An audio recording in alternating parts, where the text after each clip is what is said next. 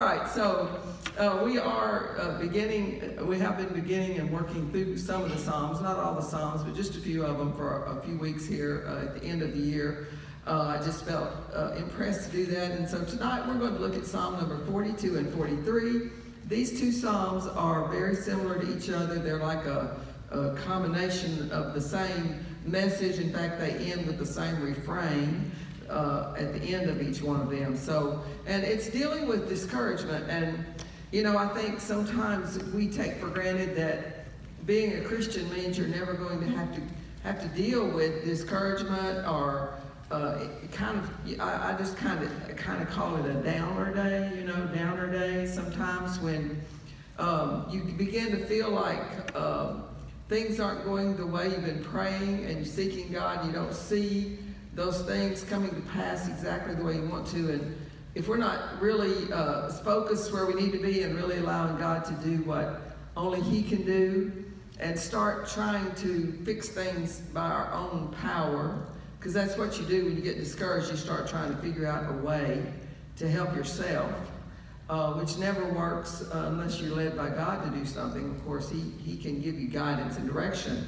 And I do believe sometimes there are reasons for discouragement that we might uh, might need to check into as far as like our physical our physical body. Sometimes we uh, we might overeat on certain things, and the next thing you know, we kind of got a downer day. We don't understand why. It's because we loaded up on donuts and uh, all those kind of things for a whole day, and then we feel miserable about it. Come on, you know what I'm talking about. Uh, it doesn't just have to be donuts, but you understand what I'm saying. Sometimes we can kick ourselves into one of those times. Uh, and then, then sometimes we get our focus off of Jesus and we get it on ourselves and we get all bound up in things people are doing and uh, things are happening around us and we get all into that and next thing you know we're acting like them because we're, we're letting ourselves go down instead of keeping our eyes where they're supposed to be. Really, uh, the Bible teaches us, I, I remember just just to let you know something that happened to me years ago. Most of you know that I had trigeminal neuralgia, and eh, trust me, if you don't, that's a big name, I know, but trust me, it's it's pain like the closest thing to I don't know what. It's horrible, hardest pain to deal with that I know of. Huh? It's worse than shingles, honey. Oh. It is worse than shingles. Trust me, I've had both.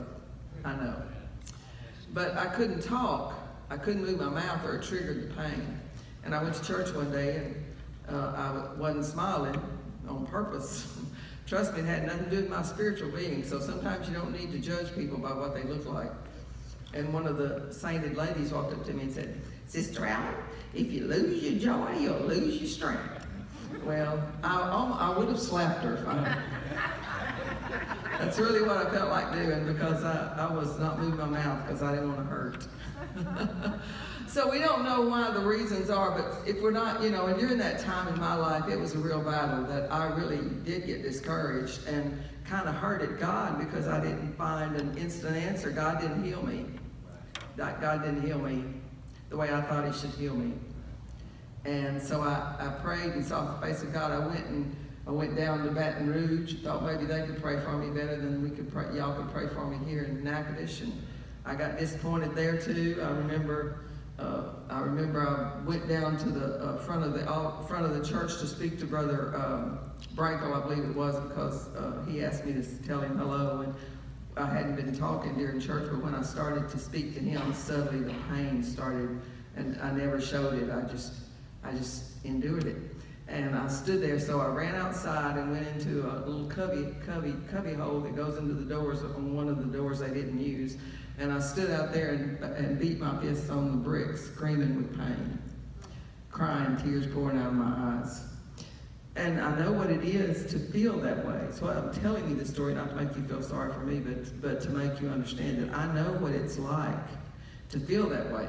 At that time, I was pretty much into the Word of Faith stuff, and I just didn't didn't understand. You know, I thought if I did everything right, if I did everything right, God ought to do it right too. You know, I was I was in that kind of uh, understanding. I was in that place, and so I became pretty hurt at God before I got through all that. And it was a dark, dark hour in my life uh, that, that only God could have gotten me out of. And I'm so thankful to tell you that God is faithful.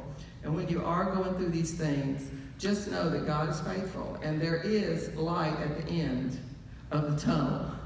There really is light at the end of the tunnel. And if you'll wait on God, if you'll wait on God in your trouble, you know, I did not wait on God. I got a little hurt at God, and then I made a choice to go to a doctor who did a procedure that was extremely excruciating, and it was a wrong decision. Because I didn't, because I eliminated God choosing me a doctor. You understand? I eliminated that because doctors were outside the spectrum of God. You understand what I'm saying? So I eliminated the doctor thought, and I just said, well, I'm just going to go to a doctor, and I just went to somebody I shouldn't have gone to. And consequently, I had the first uh, procedure done that was not, in fact, the second doctor told me I shouldn't have had that done. So I ended up with three surgeries. Instead of waiting on God and following God in in the storm. That's what I want to say to you tonight. When you're in the storm, don't give up on following God.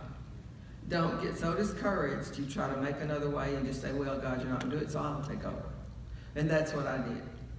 But you know, there was a day when God sent me down the right path and to another doctor. And he, and he led me to a doctor then.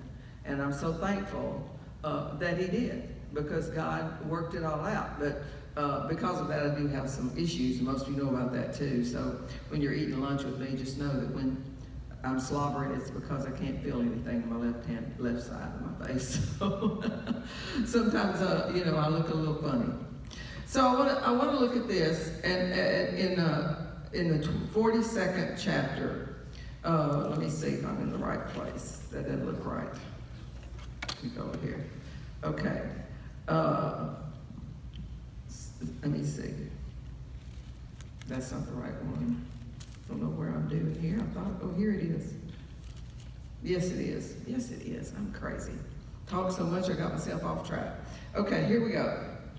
The first part of this chapter is something that you uh, have heard many times. As the deer panteth after the water brooks, so panteth my soul after thee. My soul thirsteth for God, for the living God. When shall I come and appear before God? Now listen to this. He says, My tears have been my meat day and night. Now, I know that these, poem, these poems, these songs, actually point to Jesus. And we know that in his suffering, trust me, he knows what your suffering is when you're going through suffering. Because the suffering he bore on the cross is the most horrendous suffering anybody could have borne. And so these words, where it says, My tears have been my meat day and night, he knew what he was talking about when Jesus would have said this. But the psalmist David is talking, and in this case, we need to we need to imagine it as well in our own situations, because I'm sure there have been nights and times when you've laid on your bed and tears were were your were your uh, consumption technically. It was all you knew was just to seek God, and tears pouring down your cheeks, and the agony of that, and the hurt of that, and not knowing what to do about it. It says, while they continually say unto me, Where is thy God? So see what's happening?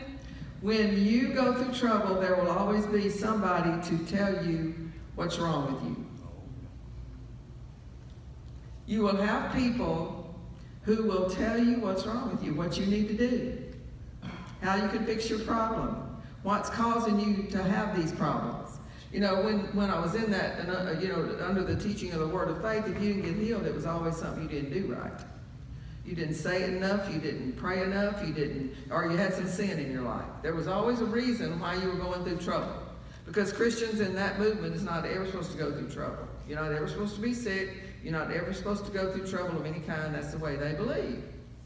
I'm glad to tell you, I believe in faith, but I believe that it has to be totally focused in Jesus, not in me. And I'm going to tell you one thing. If, if my healing depends on my goodness, then we're in trouble. My healing totally depends on His goodness and His provision. But see, I didn't understand that. I put all of that on me. Have you been there before? How many of you know what I'm talking about? You've been there where you feel like, man, I'm, i got to do all these things in order to get God to do. So there, there are always these naysayers that want to come around and be sure that you know what's wrong and why you're not seeing God do what, what you think or you're asking Him to do. So sometimes it's better not even to tell anybody. what you're praying about. Especially people that don't have the right kind of faith. And some of those real religious people are the worst ones. So don't don't be going around telling some people unless you want to be among those people that are always trying to shoot you or shoot you down in the situation that you're in. So he's saying here, uh, where is thy God? You know, Jesus on the cross, they said to him, you know, where's God? You, if you, you really know him, you should come down off of that cross. He had the naysayers, and you're going to have them too. It amazes me how we get so concerned because some little naysayer comes along. Uh, I was talking to somebody uh, this week, and they said, this person really hurt my feelings because they told me blah, blah, blah. And I said, so, uh, excuse me, consider the source and keep your eyes on Jesus and don't worry about, you know, we get too, I, I said this, I said, the people that, that, that bother me when they, when they say ugly things to me is a very small group. There are people out there who might say some, something ugly to you, but you know what? You, they're not worth you listening to their garbage and getting cast down because they have an opinion. Excuse me? Nobody has been given authority over your life to speak into your life and tell you all the things that need to be told. So you need to override some of that junk. You know, there's, uh, uh, it was so funny, you know, to just speak the truth sometimes. When somebody's talking to you, sometimes you just need to speak the truth. There was one politician that was uh, talking to this little girl, 12-year-old girl in her crowd that was, that was wearing one of her hats. And she said to this little girl, 12-year-old girl, said, Oh, I'm so proud of you. Look at you. You're wearing one of my hats. And the little girl just innocently said, Well, your people came along and gave it to me. It's free, so I took it. I think, but that's a good way. That, that politician needed to come down uh, a rung or two, and that little girl did a good job of it. And there's some of these people that call themselves prophets and, and godly, wonderful, above everybody else people, and sometimes you just need to be honest and say, that's a, that's a lie. That's not true. What you're telling me isn't true. I'm not going through that or I'm not going to go through that. You know, just because you're saying it doesn't mean it's true. So sometimes we need to be honest with these people who think they're so great. Just think they're so great. And so he says, uh, when, I when I remember these things, I pour out my soul in thee. For I had gone with the multitudes. I went with them to the house of God with the voice of joy and praise with a multitude that kept holy day. He said, I went with them. I remember going to church and having that great joy. But he said, now I pour out my soul to you. For some reason, it seems the psalmist is referring to the fact that maybe there was a reason why he couldn't go to church for a period of time. And how many of you know that when you don't go to church for a period of time, you get really disconnected from the body of Christ? And most of us think we can make it okay, you know. But I'm going to be honest with you if I have to miss a Wednesday night, which is rare, or Wednesday night or one Sunday, I feel like it's an eternity before I get back in the body of Christ because it's not just about my relationship with Jesus. You know, people think, oh, if I got a good relationship with Jesus, that's all that matters. It is not just about a good relationship with Jesus. You are required to have a good relationship with his kids. You're required to have a good relationship with the body of Christ. It's important. It's not optional. You can't say, well, I can live for God all by myself. In the first place, that's a lie. You can't. We need each other. Sometimes we need each other just because we need correction. You know, who's going to correct you when you're just home serving God by yourself? You're pretty good. You know, you only got one member in your church. You know, not, not going, anybody going, going to challenge you very much. Unless you're like the man that was on the stranded island, you know. When they finally found him. They said, where are these three huts you built? He said, well, this is my house. I live right here. And they said, well, what's that one? They said, well, that's my church. And he said, well, what's that one? He said, well, that's a church I quit. And I'm going. so, there are people like that. Trust me. So, so maybe there was some reason why that he was not able to be in the house of God. And there are feasible reasons. I don't know about you, but COVID was disastrous. Yes. I mean, COVID was horrible. I thank God for all of you. You were wonderful. You stayed connected. Our church stayed connected, and I'm so thankful. It was wonderful. We had a great connection going on during that time, and, and you stayed connected, all of you did, even though we couldn't be together, most of us, most of the time. But you were great. But that was, God knew, you know, God knows the circumstances that we're going through. And he makes up the difference. It's like I've talked to Carolyn before, and she'll say, I haven't had time to put as much time in my study this week.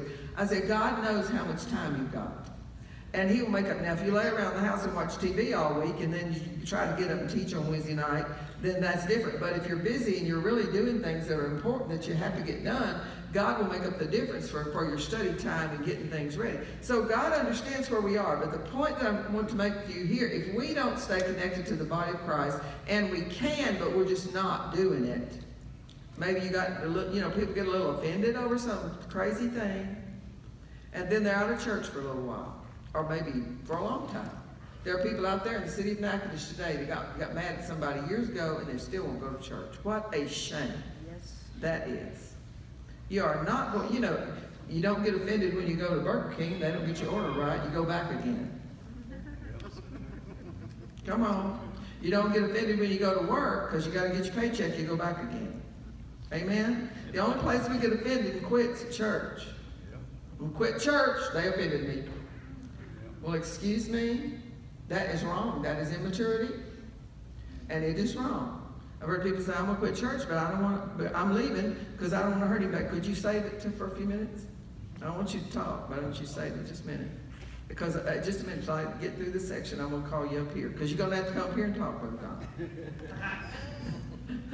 you have to get it listed up here. So I want you to just remember this. And look at what he says. Then he says, oh, uh, number six, he says, oh, oh my God, what my soul is cast down within me. Therefore I will remember thee from the land of Jordan. I'm going to remember thee, even though my soul is cast down within me, Lord, I'm going to remember thee. And then in verse 8, yet the Lord will command his loving kindness in the daytime, and in the night his song shall be with me, and my prayer unto the God of my life. I will say unto God, my rock, why hast thou forgotten me? Why go I mourning because of the oppression of the enemy? Why am I doing this? Why am I allowing? Have you ever asked yourself that question? Why am I allowing myself to get in this position? Have you ever asked yourself that question? Why am I cast down? Why am I discouraged?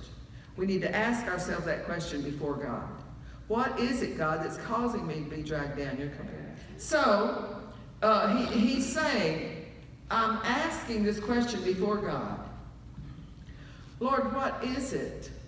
Have you ever felt a little troubled, but you really didn't know exactly, couldn't put your finger on what the situation was. Have you ever been there? Yes. And then I get before God and ask this same question. Why, Lord? Why is my soul so cast down? Why am I? You know, God doesn't want us to stay in the valley.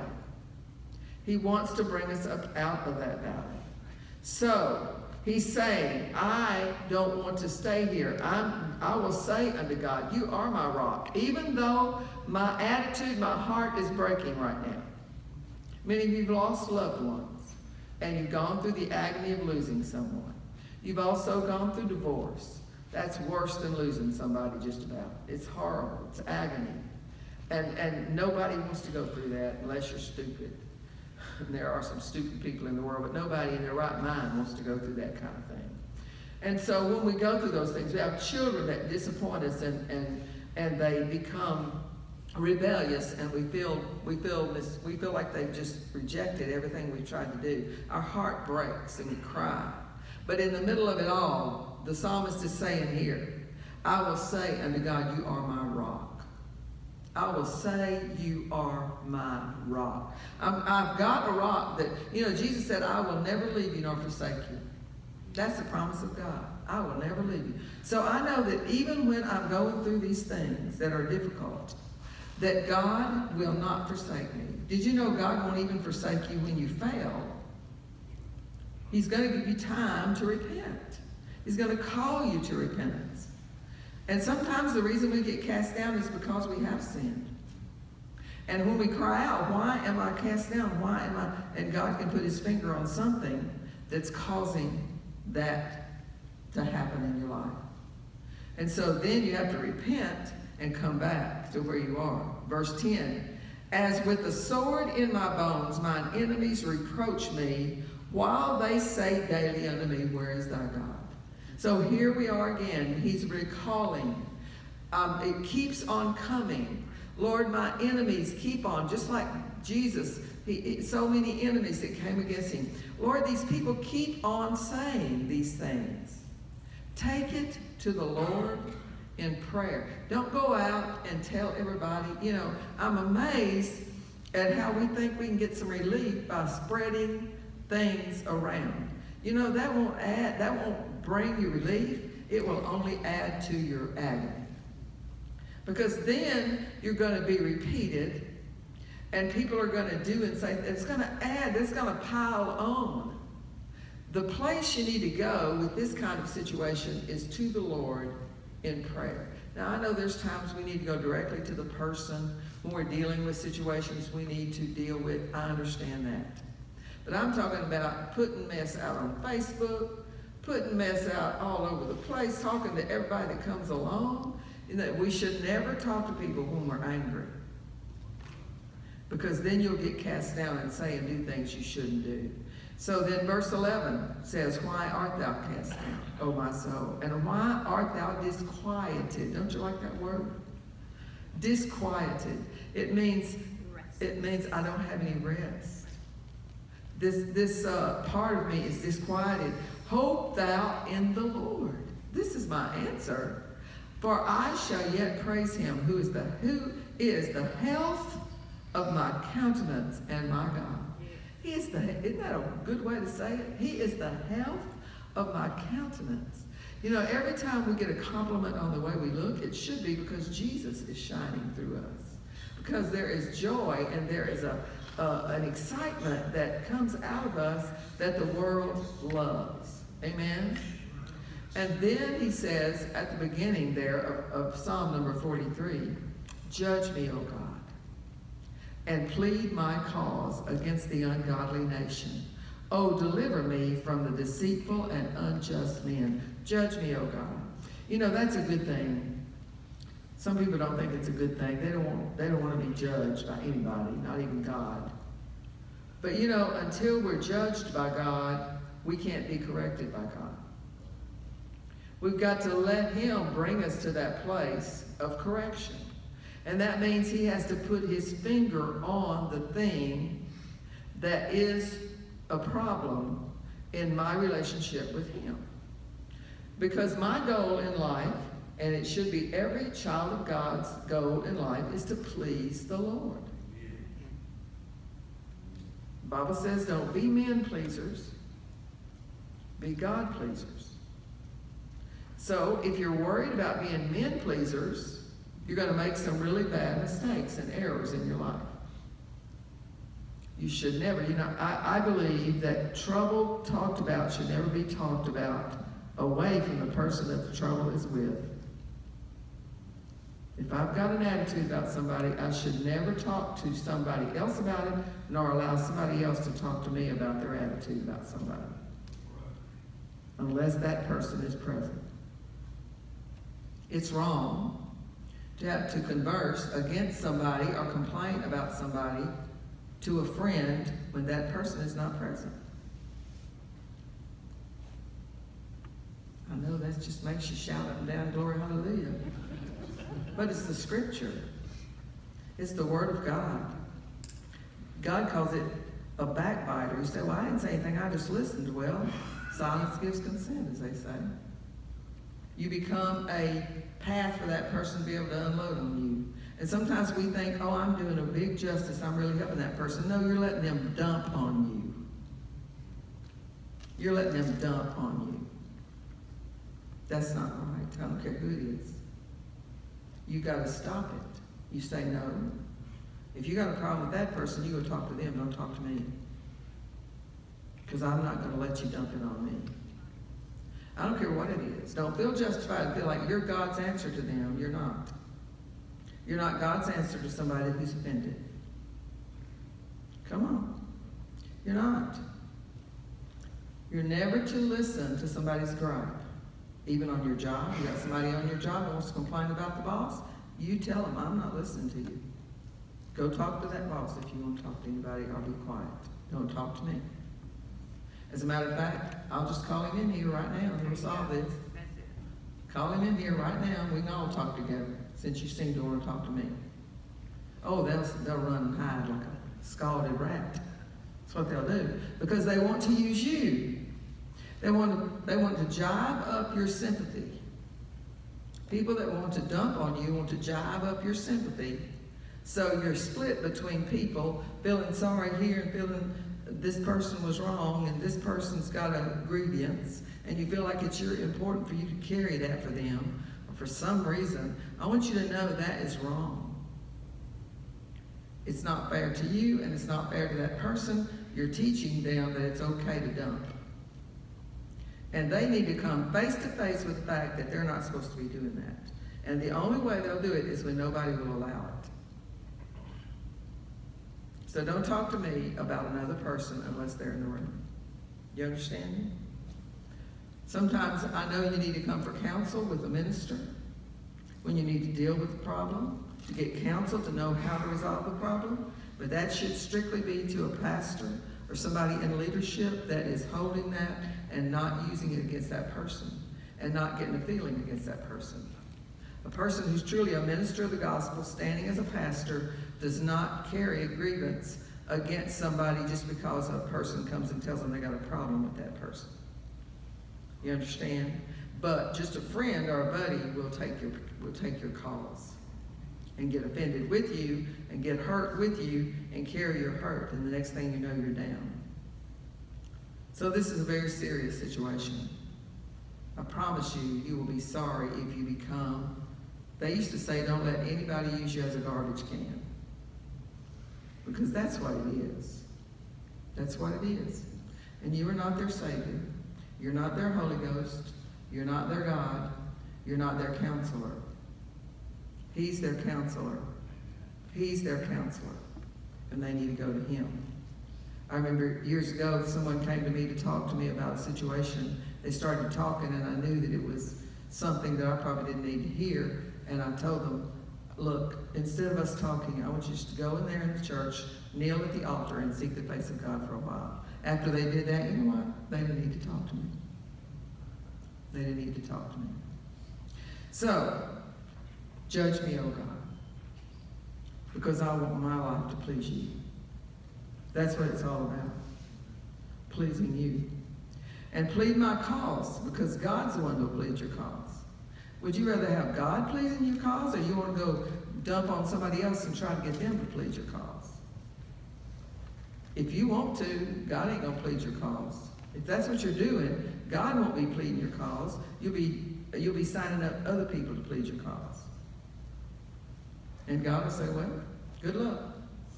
Because that's what you're depending on is luck when you're letting somebody else plead your cause. You understand me?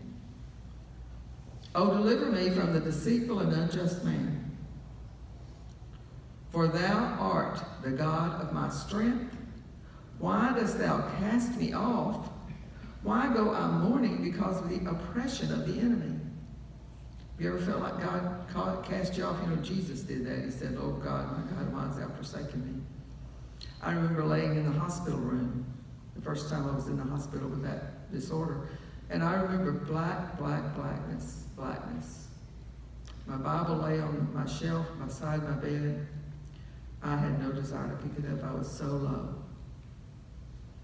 That's how it feels when you start mourning over the fact that things aren't going the way you think they ought to go. And then you end up in that depression and that oppression of the enemy coming against you. But David, David says here, Oh, send out thy light and thy truth. Let me lead them, let them bring me into thy holy hill and to thy tabernacles. What does he want to bring? Thy light and thy truth to bring me into thy holy tabernacle. Everything is solved in the presence of God. Everything. No matter what you're going through in your life, don't seek something else to be your provision. He is your provision. Let his light and his truth lead you into the tabernacle of God, living and dwelling in the tabernacle in his presence. And you'll find peace there. Then will I go unto the altar of God. I'm going where I need to go. Now I'm going where I need to go. Unto God my exceeding joy, yea, upon the harp I will praise thee, O God, my God. Why, again, this last verse is the same as it was in the other chapter. Why art thou cast down, O my soul, and why art thou disquieted within me? Hope in God. Hope in God. For I shall yet praise him who is the health of my countenance and my God. You know, uh, David, um, um, as far as I know, he's the one who wrote this psalm. You know what he had done? He had lost his, he had not lost his faith, but he lost his song. I preached that message on Toller on Wednesday night about your song. Your song. Your life is a song. And you can hang on to your faith, but you can lose your song. And God doesn't want us to lose our song. That's why we need to protect it. That's why you don't need the dumping on. You don't need the people telling you everything that you need to do that's wrong or right. You don't need those kind of relationships that drag you into that kind of situation. You need to come to the house of the Lord. You need to come with an open and clean mind. You should never come here carrying junk that somebody told you about somebody else that's going to worship with you. Never. Should come here with a clean heart and a clean mind, loving everybody and, and, and just totally having the right attitude about everybody who's in the house of the Lord. You come that way and seek his face, then you will be delivered and you will not be cast down. But you will truly know what it's like to walk in the freedom. So don't give up. That's what I want to share with you tonight. Don't give up. Keep your face where it's supposed to be. Don't let anybody influence you but Jesus Christ. Don't let people influence you or drag you down. It's all about Jesus Christ.